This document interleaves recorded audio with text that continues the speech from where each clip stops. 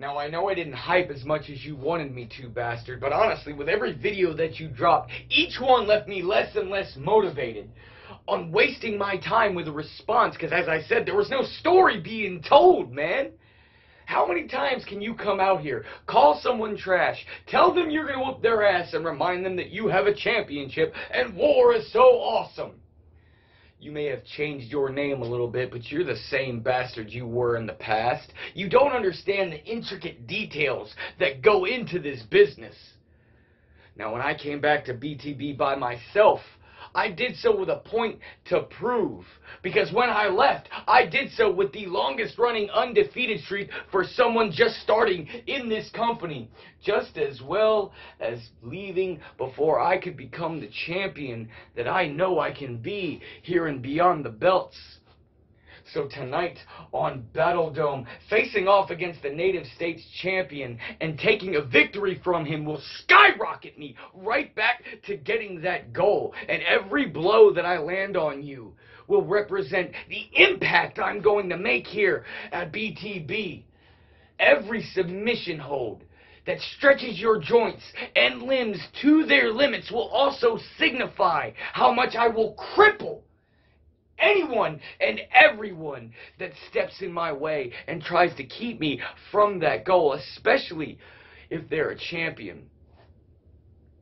And once I finally connect that springboard knee right to your temple, it will not only daze you, it will not only immobilize you to set up for what you already know is coming because you've experienced it twice before but hopefully it will also knock some sense into your brain. Because it doesn't matter who you have aligned yourself with. It doesn't matter what championship you hold. Because your sole standard of this business is back. Which means the bastard's kryptonite is here and present.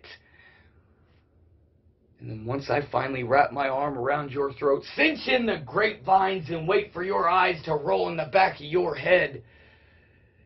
It will only be a matter of time before my arm is raised in victory, and your sole standard of this business has just then picked up a win on the Native States champion, which will help me prove that I am exactly what I say I am. And that is a future champion here in BTB. you know, it's funny. You've learned how to raise your voice you brag about your accomplishments and you keep telling everybody about the faction that you're a part of. You sound a lot like me when I was here before. But then again, I don't really blame you for wanting to be like me.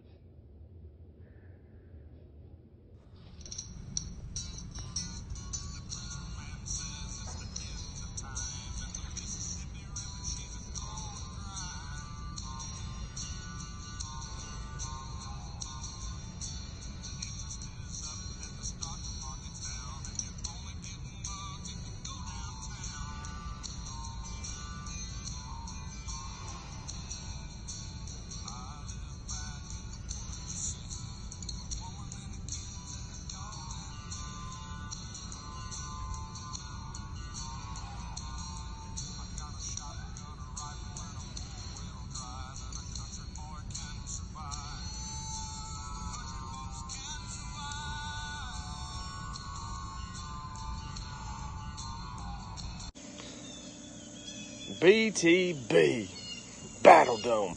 The bastard versus the standard. Hmm. I've been looking forward to this standard because I've been to your little building twice this week. And I'm getting ready to go back for the third time. So I really hope you're here tonight. That way I can beat the ever living hell out of your punk ass.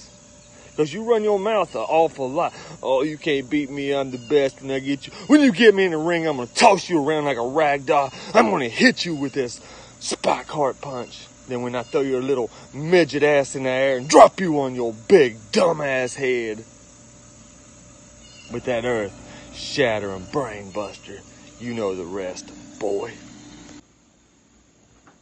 Come on, Jimmy, get your punk ass up. Jimmy. Are you done? Huh? Have you had enough of the bastard? Huh? I thought LOD was the guys to beat. Because like I said, baby, war. Look what I got, BTB. After I come in little Jimmy's building and beat his punk ass, I got his little hammer. And you know what?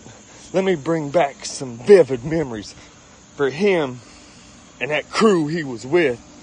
Let me bring back another memory for the BTB when they spit in our faces. You see this hammer? You see what's behind me? Did you hear that? BTB. That's the end of you, standard. So next time you want to step to the face of the bastard, you better bring a little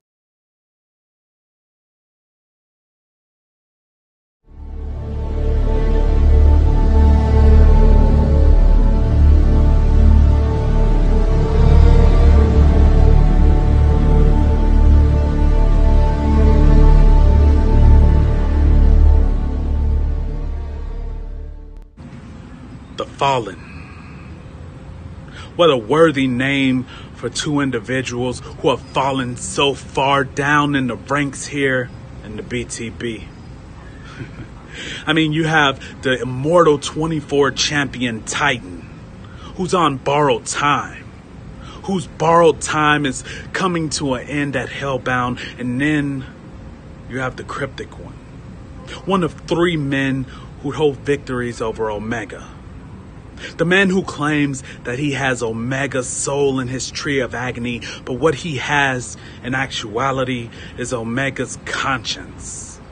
And Omega without a conscience is the most dangerous thing running around here in the BTB. See, I see the fear in your eyes because you realize that you have to go up against Omega Elite.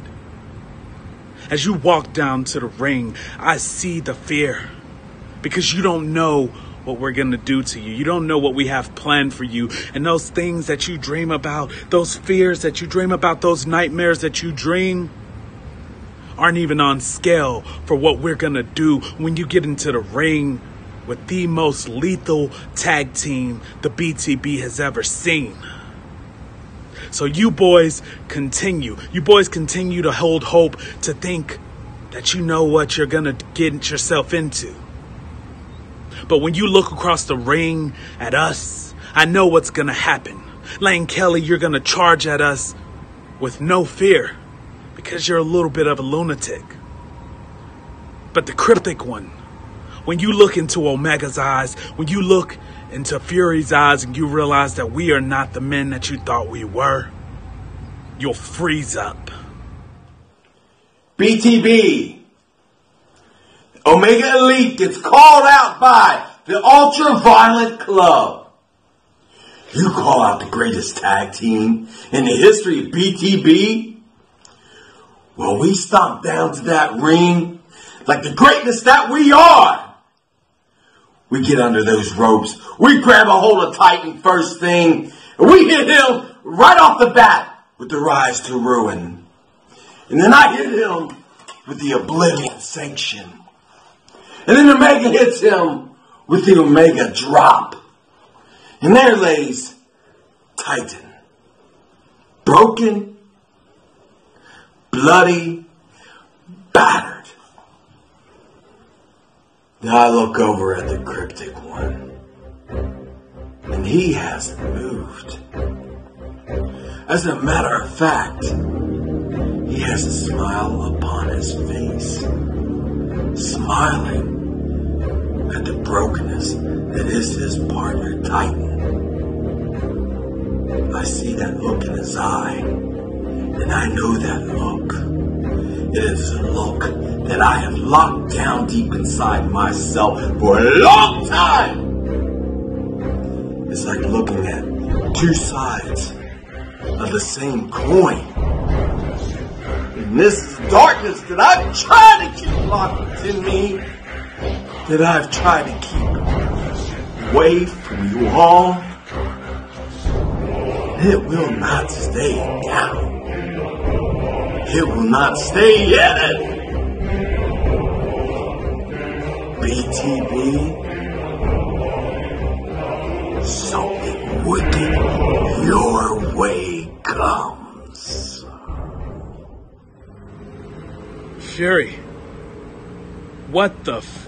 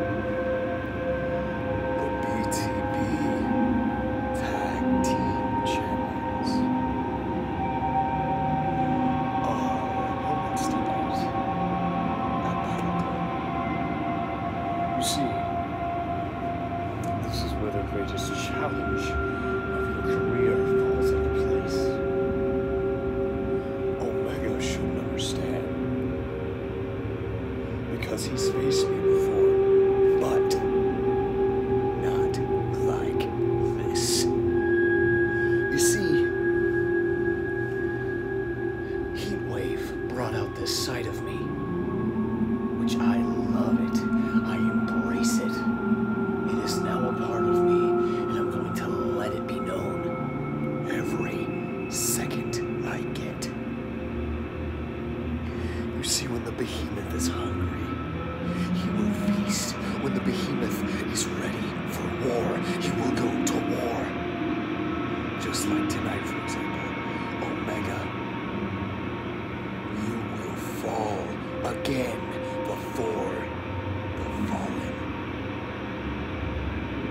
You see, Titan, the fallen angel, he calls himself. He has his motives of what he's to do tonight. But me, what I plan to do tonight is a whole different story. Omega, I'm going to hurt you again. I'm going to make you cry again. I'm going to make you question your own mortality again. Man who I've never faced before. Now, this is where things get interesting. You see,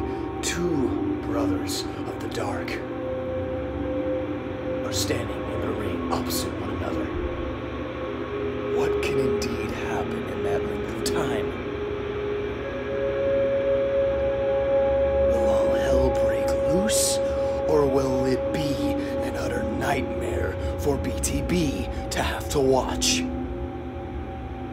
All you have to do is tune in and be ready for this war. You know what I look forward to tonight? I actually look forward to beating you two senseless. I look forward to beating you till there's nothing left but a pile of bones and a few organs. And those organs won't be inside the rib cage. No, no, no. They'll be wrapped around your throat with your jaw open as you will be screaming for help as there will be nothing left of what we've done to you tonight. So you may be saying to yourself, oh, this ain't the soldier from hell. No, you're right, this ain't the soldier. This is a very mad fallen angel. And this fallen angel is looking to make an example out of two jokers who don't deserve to be in my presence. So tonight, when my hand is wrapped around your throat, I want you to think of one thing. That one moment in time that made you the most happy, that made you the happiest you've ever been. I want you to think about that. And I want you to think about that as that slips away while I choke the life out of you. So tonight, my knee will be making a hole in your skull. I don't, and it won't be one that stops halfway through your head, no. Tonight, a man made me angry yesterday. And that man inspired me to hurt the both of you. So tonight, my knee will find its way through your skull. That means in one end and out the other. But tonight it doesn't end with a knee strike. Oh no, it doesn't, gentlemen. You're the World Tag Team Champions. Them deserves to go out better than what I am giving you. So tonight, When I hoist you over my head, Omega, and I put you in the tombstone position, I want you to think of one thing. What are you going to do when you get to purgatory? So when I throw you out and knock you unconscious, when your face hits the mat, everybody will realize that they don't need to mess with me anymore. And the same goes for you, Fury. Because while you're both unconscious, me and the behemoth will have our final laugh of the night. When I put you on my shoulders, one by one, surely, then his boot will connect with both your temples, one by one. Then I'll throw you over my head, and I will slam you with a one-way ticket to hell. Which means we call this the path of the fallen, gentlemen. A path that you are going to be traveling on here tonight. A path, meaning the behemoth are more than welcome to show you. Because the path of the fallen is men who will fall from grace and deserve to fall from grace. Let the bloodbath begin, gentlemen.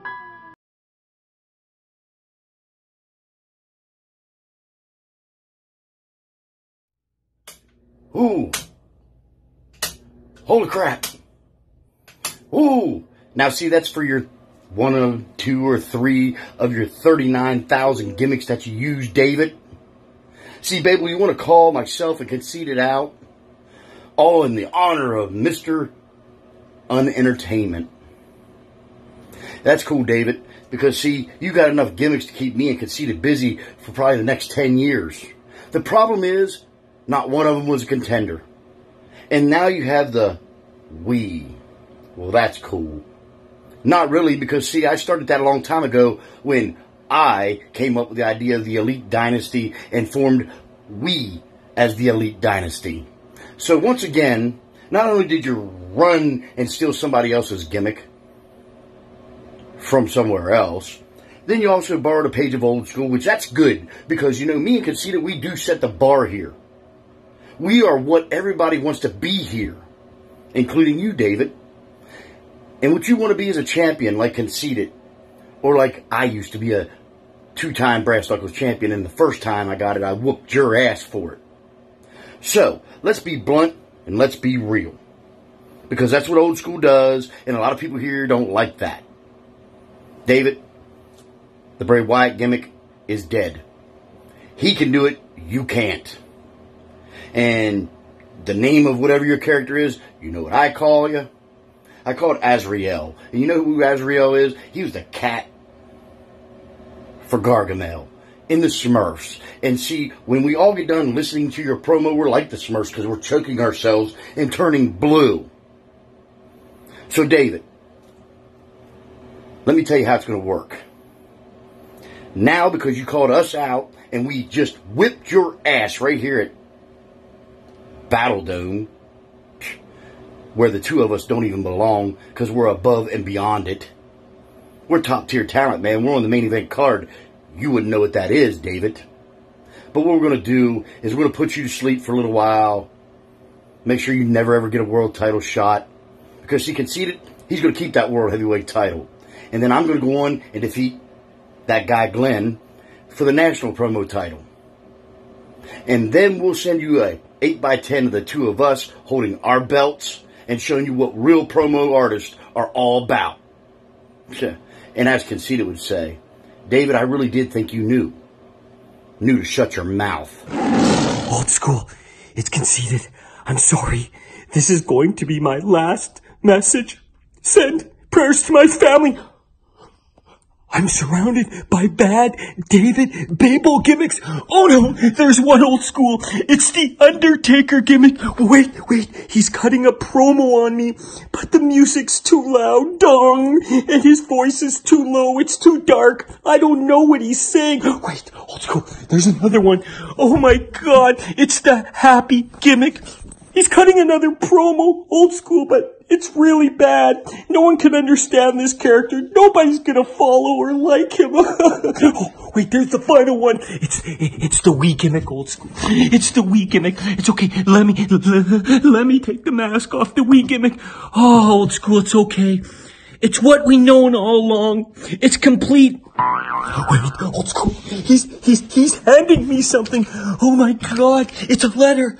Oh, it's a Mr. Entertainment fan club membership, and he's Mr. E's only fan left. Oh, oh, thank God. I woke up. That was a complete disaster. How was that guy even in BTB? Let me just do a check. Ah, yes. Still perfect and handsome. You need to stop bugging us, Dave. You need to stop disturbing, conceited, and old school. You think we don't have anything better to do than to show up at Battle Dome? Battle Dome? Give me a break. I'm the world champion. Where's my belt, Carney? I'm the world champion. I don't need to show up on a show that's for guys who feel that they don't get any recognition around here. I get it while you're here, so I'm going to open up the book. I'm not going to even show you a book. I'm not going to grab it even though it's two feet from me. But I'm going to rip open that cover page, destroy pages 1 to 73, and I'm not going to read the ending. You know why I'm not going to read the ending? Babel of your fable? Because I already know how it ends. Dave, the antagonists come in and you get suffocated by the beautiful beard and stabbed in the back by the super sexy Canadian sword. Because it's etched in stone here at BTB. David, you got the two guys that are running the empire. So drop the superstar act and go back to just being a fan and watch what we do because it's perfection, David.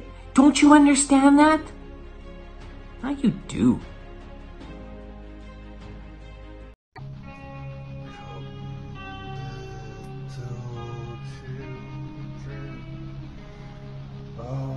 Take thee away. Tonight, two men enter into a world they do not understand. A world of darkness.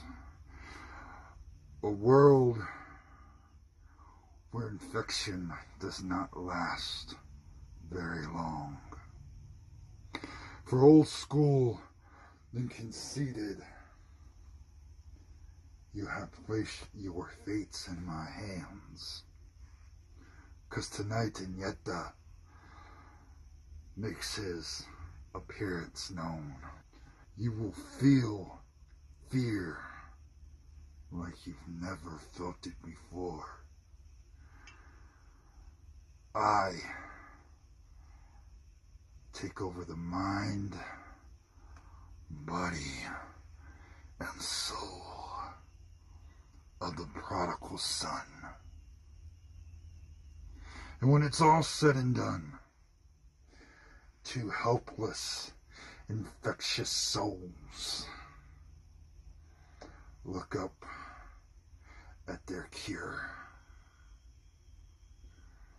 It will be then that the BTB is on notice that Yineta has arrived. And once I have done my damage, we, we will provide BTB with the direction of our cure. So old school, conceited, tonight for Battle Dome, let the cleansing begin. Tonight, a new chapter, a new beginning in BTB starts with the cleansing of your infection. Be prepared, gentlemen, because the fun is only yet to begin.